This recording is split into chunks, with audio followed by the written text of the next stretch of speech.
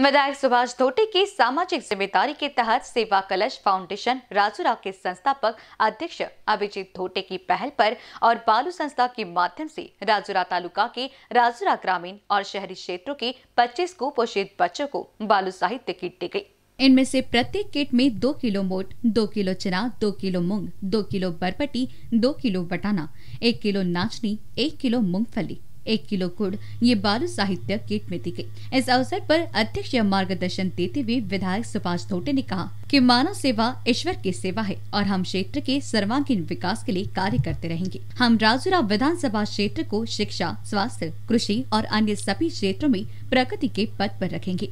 एक संतुलित समाज एक आदर्श सपना है। इसके लिए शासन स्तर पर ईमानदारी से प्रयास किए जा रहे हैं। हालाँकि कुछ कमियाँ बनी हुई है। कुपोषण मुक्त समाज के लिए व्यापक प्रयासों की ज़रूरत है। इसलिए उन्होंने सभी के इस काम में पहल करने की अपील की है। इस अवसर पर महापौर अरुण धोटे, जिला पंचायत सदस्य मेघा नलके, उपाध्यक्ष मंकेश गोरनली, कांग्रेस ओबीसी के ग्रामीण जिलाध्यक्ष नंद किशोर वाढ़े, साथ ही अन्य लोग मौजूद थे।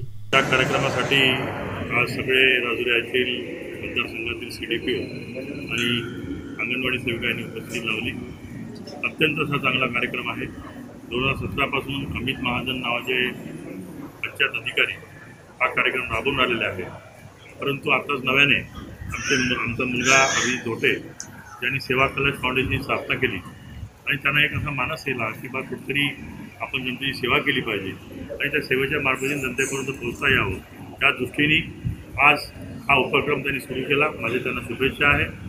या दोन वर्षामध्ये त्या राजुरा विधानसभा क्षेत्रामध्ये कुठंही कुपोषित बालक दिसणार नाही, अशी या प्रसंगी मी ग्वाही देतो. सेवा फाउंडेशन आणि अमित महाजनवारची बाळू त्या दोन्ही संस्थेला शुभेच्छा प्रदान करतो. हा कार्यक्रम अविरत चालू राहो. आणि कुपोषित बालकांना सुद्धा जे काही सुदृढ बालक आहे, त्यांच्याबरोबर धावण्याची, त्यांच्याबरोबर खेळण्याची, त्यांच्याबरोबर शिकण्याची ईश्वर शक्ती प्रदान करो. मिशन न्यूज़ के लिए राजूरा से संवाददाता की रिपोर्ट।